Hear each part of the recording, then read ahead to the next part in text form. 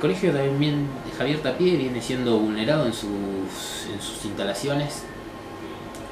y, más allá de los robos también fue víctima de hechos vandálicos. Entre lo que podemos contar, eh, el intento de, incendio sobre el establecimiento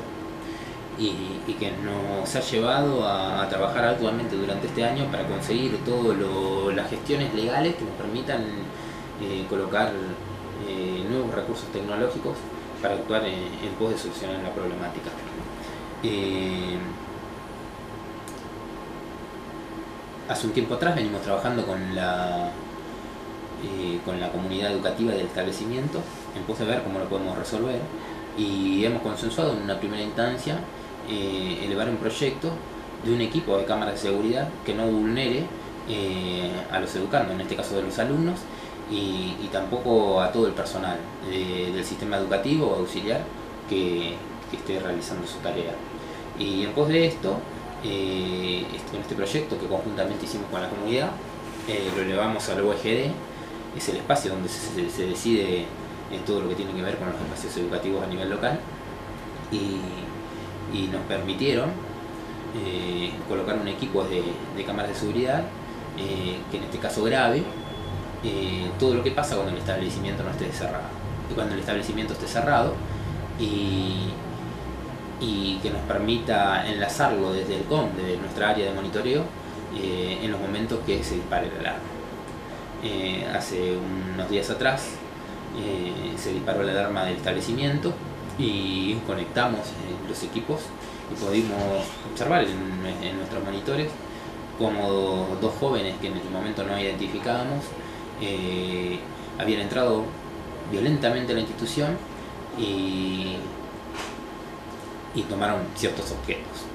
Eh, llegó la primera patrulla de la zona y se le envió apoyo. El establecimiento tiene un predio muy grande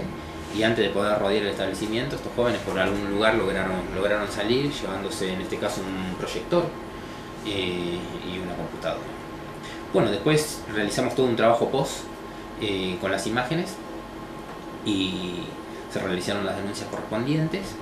y estos dos jóvenes eh, hacía dos días habían recibido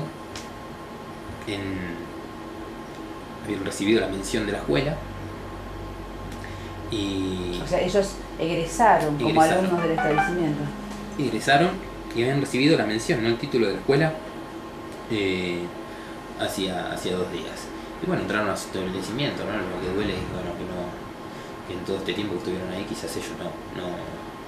no, no, tenían sentido de pertenencia con la institución. No, aprendieron a, valorar, ¿no? Y, y, bueno, estos dos jóvenes fueron detenidos por las fuerzas de seguridad,